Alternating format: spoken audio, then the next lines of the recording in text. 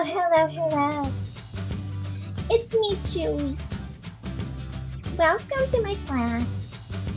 So glad you're here. We're going to describe monsters. Now, these are describing words.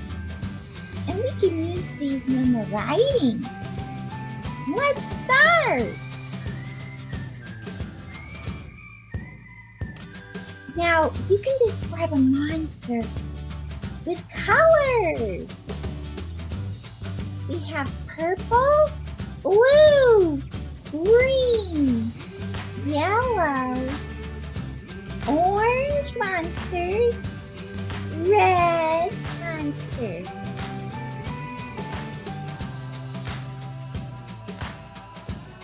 Hmm.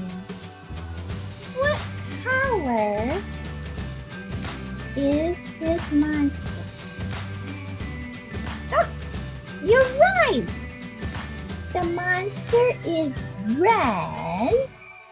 I see red and blue. Nice job.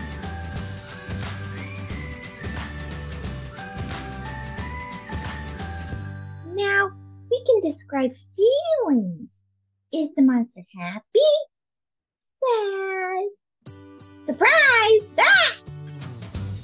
Angry? Scared? My eyes turned around in my head.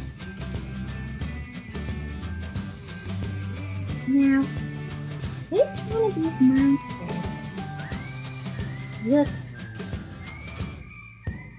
angry?